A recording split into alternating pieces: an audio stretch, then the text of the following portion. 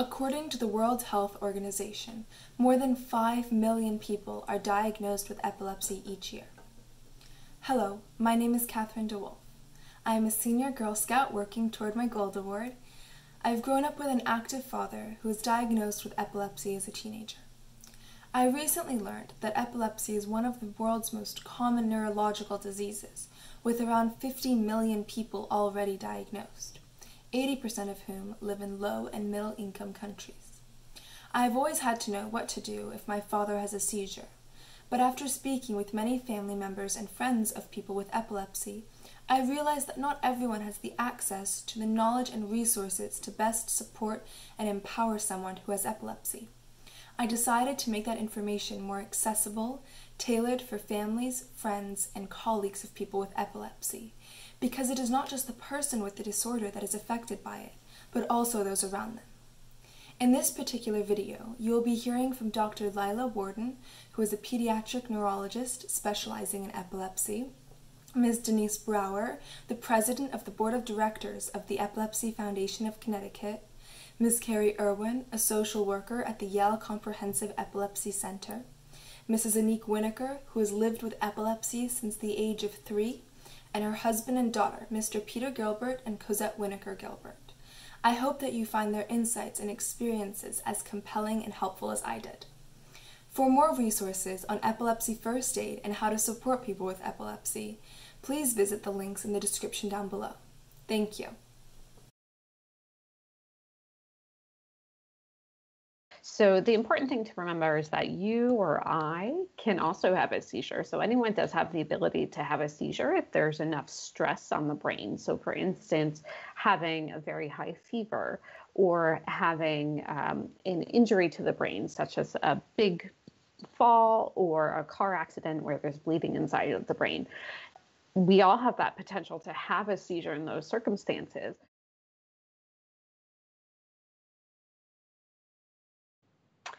I would say that epilepsy is a condition where a person can have recurrent spontaneous seizures.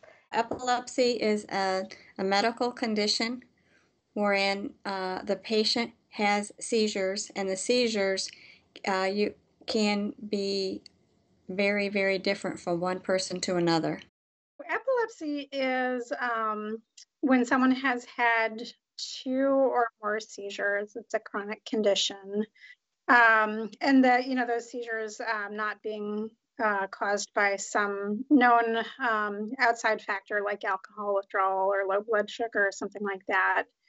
I had my first seizure at three. It's a neurological condition that can present itself in many ways.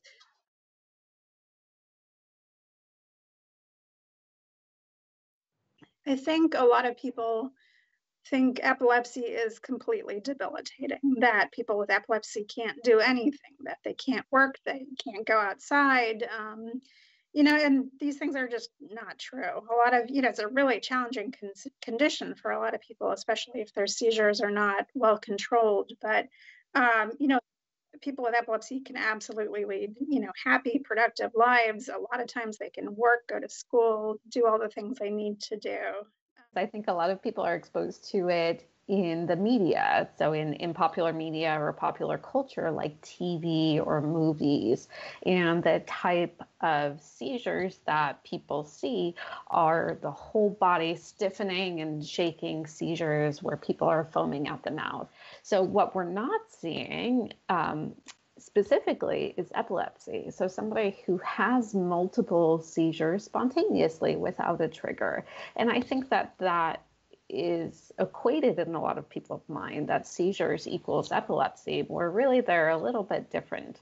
The perception that people have cognitive issues, that they need to be limited. And I also wish that um, there was less um, fear and stigma around epilepsy. Um, you know, sometimes, and I think it's unconscious, but I think sometimes people, you know, want to avoid people with epilepsy um, or they're afraid of them, they're afraid to be around them, and it's really not necessary. So, in movies, in TV shows, particularly older ones, you know, from the 90s, for instance, or the 80s, hopefully not the more recent ones, but when people have a seizure, you do see people put a spoon or a tongue depressor in the mouth, um, and that's not safe. And certainly, you don't want to put your fingers in their mouth because the only person who's going to be injured in that case is you. You might lose a finger. But but it is uh, a common re- misperception that a person with epilepsy may bite their tongue off and swallow their tongue. And that's not true. It's true to some extent that there are people who have seizures and who have epilepsy that is treatment resistant, meaning that they're still having seizures despite trying at least a few different medications. Um, and those patients often will have developmental challenges. If we're talking about children, they often have cognitive challenges, um, but the majority, you know, two thirds of patients who have epilepsy have seizures that are controlled with medicine. And then we have to approach it a little bit differently. You have to think of it like a chronic illness that needs to be managed, something like high blood pressure. Um, and in light of that, there are very few things that people with epilepsy cannot do. When somebody first first get the diagnosis, it can be difficult to hear because of exactly the issue that you bring up of how epilepsy is portrayed as somebody who has intellectual disability, as somebody who you know requires care in an institution, as somebody who has whole body shaking seizures. But epilepsy is so much more than that. And as I alluded to, about two thirds of people do have epilepsy that is well controlled with medication, and they can have normal lives and lead normal lives. So when we first diagnose somebody with epilepsy, everyone's mind jumps to that that severe end of it, and educating families um, about what epilepsy is, what the cause of it is, and where do we go from that initial first seizure and diagnosis um, is is something that I think is important and something that's a journey. I called them pillies when I was that little, but I said, okay, have to take my pillies, and I still have my pill box. There are different grades of it, and people need support, but it's not that they're like completely incapable of caring for themselves. The reason I wanted to get involved with epilepsy, of course, was because of my oldest daughter having seizures since she was seven years old. She always wanted to be a teacher, and so she's a, she's an assistant to, um, and she works also part time with special needs children. Um, she also uh, she did go to school and she got her master's in uh, early elementary, so she um, she is able to be used in a lot of different positions at the elementary school, uh, but her main job is to be an assistant in the kindergarten classroom.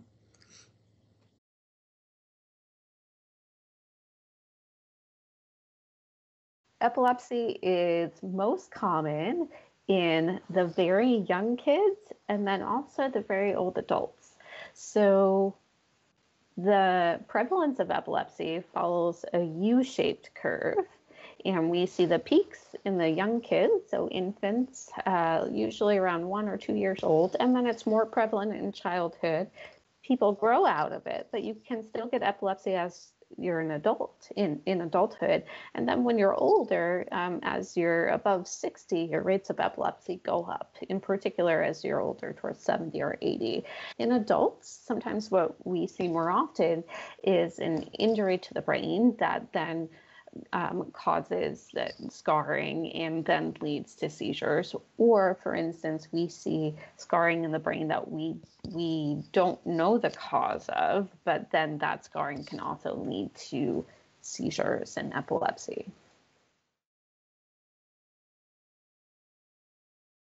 She's starting to sort of break that barrier that yes, I have epilepsy, and yes, I can help others. Um, she's a like I said, she's a sweetheart and she loves to help others. It was just in the beginning, I think she had built up a wall like, well, if I have never been treated as I'm disabled, why Why should I do things for this disability? But she's pretty active now. You know, some of our patients who, um, you know, say have um, either found the right combination of medications or maybe had surgery and just had a dramatic improvement in their seizures. Um, and you know maybe when i encounter them months or years later are just happy and doing well um, and you know just living their life um, and there's a lot of families who are incredible advocates um, for their family member with epilepsy and um, you know not just family members advocating for for the person with epilepsy but sometimes you know when when the person with epilepsy um, you know, finds that strength and confidence to become a strong advocate for themselves. Um, that's a wonderful thing to see as well. I probably take 30 pills, and every Saturday night, Cosette says, It's time to do your pills. And we take out all the, I mean, it's like hysterical. And she takes all of them out. She says, How many in this case? How many in this one? What was amazing about it is what she said is, I don't allow epilepsy to define me.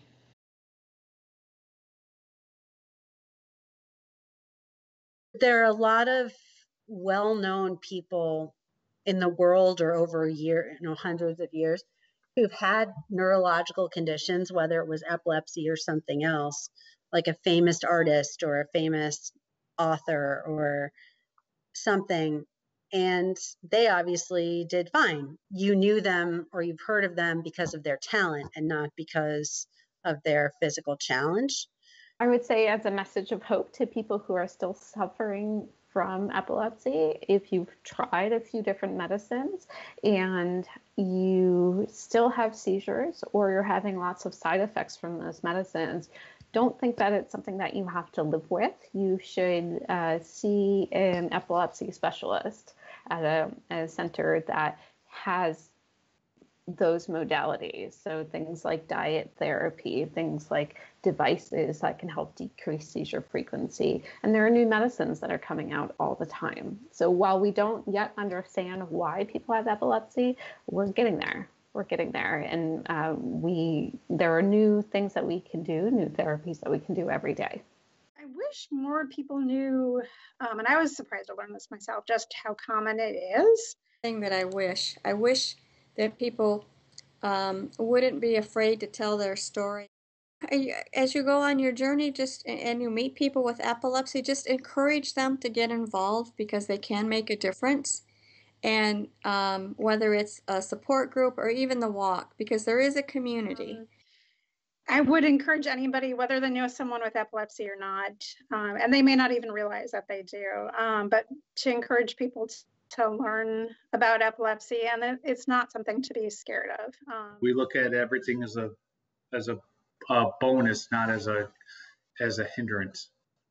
There are support systems and there are support groups, and it might seem insurmountable, but and it often takes time. I think that's the other thing is it often takes time to find the right medication, to find the right treatment, to find the right practitioner. Um, that it isn't scary.